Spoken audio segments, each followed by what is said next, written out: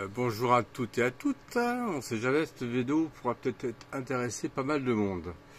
Effectivement, avec la nouvelle H, LH101 de chez avec la LVZ 200 euh, que j'ai reçue, euh, programmer un module de rétrociliation, ben, c'est pas si facile que ça. Surtout que la notice, évidemment, est complètement en Dutch. Pas facile.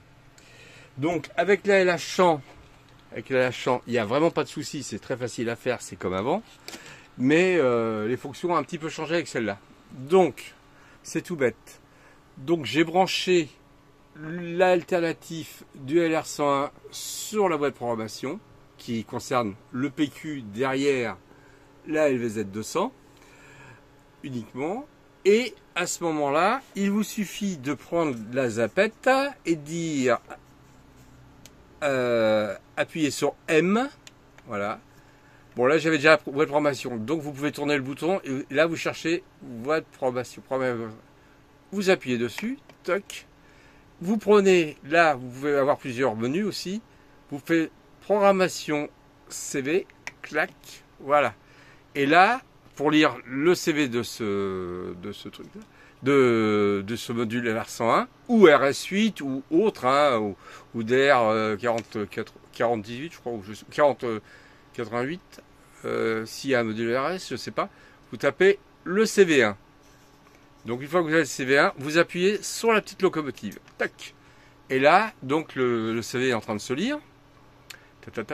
ah, il a trouvé l'adresse 67. Donc on peut lire les CV, il n'y a pas de problème. Mais moi, j'ai envie de repasser ce décodeur LR101 à 65.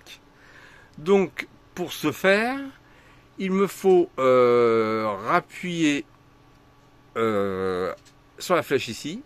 Clac. Là, je lui fais 65. Voilà. Et là, il faut rappuyer sur la petite locomotive. Tac. Et là, il écrit l'adresse 65.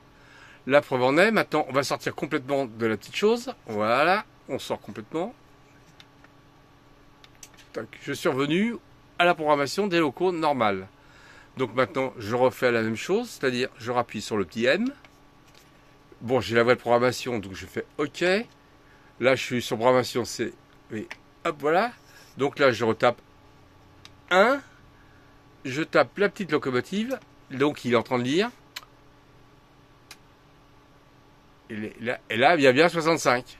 Voilà. Donc, il n'y a pas de problème. Donc, si je veux rechanger cette adresse, par exemple, la repasser à 67, il suffit que j'appuie sur la petite flèche qui va à gauche. Je tape 67, ou on va faire 69 par exemple, voilà. Et une fois que 69 est passé, on appuie sur la petite locomotive et ça écrit. Voilà, voilà. Donc maintenant c'est écrit, on, on, sort de tout ça. Toc, toc, je ressors complètement. Je rentre pour voir. Toc. Je vais faire la même chose. Hein. Toc. J'appuie. OK. Euh, M. Non, pas M. Euh, CV.